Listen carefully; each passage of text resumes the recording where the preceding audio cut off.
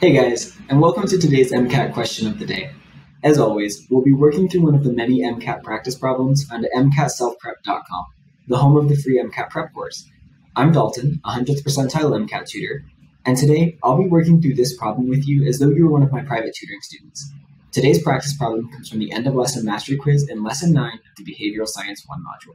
Be sure to hit pause and try this problem for yourself before watching my explanation. All right, the key to acing this question is having a good understanding of how the G protein signaling pathway works. So I want to walk through that with you today.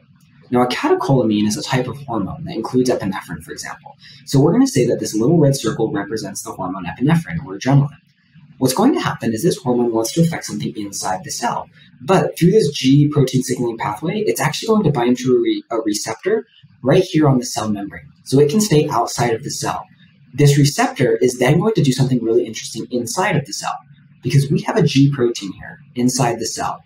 And normally at rest, it's connected to a GDP molecule. But once this receptor here that I've drawn in purple is activated, it's going to trigger the release of this GDP, and GTP, GTP is going to bind to the G protein instead. That means the G protein is now activated. So it can go and in turn, it can connect to and activate this protein, which is adenylyl cyclase. We're going to write AC. And adenylyl cyclase does something really important. Adenylyl cyclase is going to take ATP, as you can see right here, and it's going to convert it to cyclic AMP.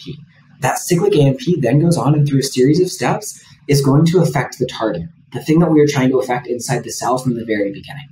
What's really cool about this, though, is even though this is, may seem like a convoluted series of steps, it's really neat because with just one single molecule of hormone, we activate this receptor. This receptor can actually activate multiple G proteins. And so then we're activating multiple adenylyl cyclase proteins, and we're getting lots of molecules of cyclic AMP to do their job and do what we want them to do just through that one hormone molecule. And so that's the really cool thing about this and about what's going on here.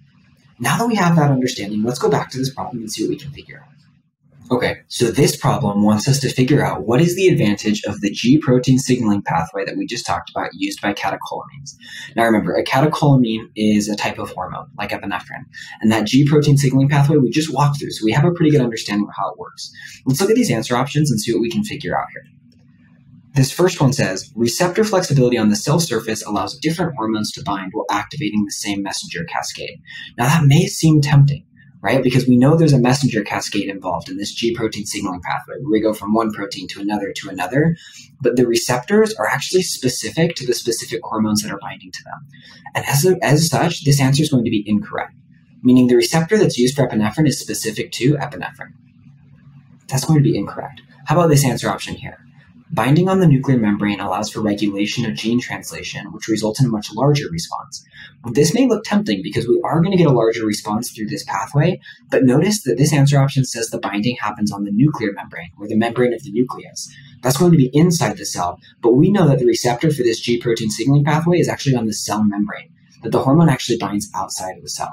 So we're going to go ahead and cross this one off as well. Finally, right here, it says direct action on the intended target allows for quicker response time. But remember, the whole point of the signaling pathway is that we're not acting directly. We're acting indirectly through a series of steps, right? We're getting down to that cyclic AMP, and then through a series of steps, we're going to be able to affect our target. target. But the epinephrine isn't binding specifically to that target. So this is going to be incorrect as well. That leaves us with the last answer option. Signal amplification requires a small concentration of hormone to produce a large scale effect. And that checks out because remember, with only one molecule of epinephrine, we can create a ton of cyclic AMP. We can really boost the effect of our hormone even with a small concentration through this pathway. So this is going to be our correct answer.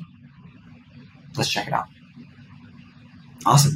If you enjoyed this MCAT question of the day, be sure to give it a like. For more MCAT questions of the day, be sure to subscribe to this YouTube channel and enroll in our free MCAT prep course found at MCATselfprep.com. Now, if you're really looking to maximize your MCAT score, be sure to check out our elite tutoring services and request a free consultation with any of our available tutors. We'd love to chat with you about your situation and how we can help you maximize your MCAT score. Look forward to hearing from you, and we'll see you next time. Have a good one.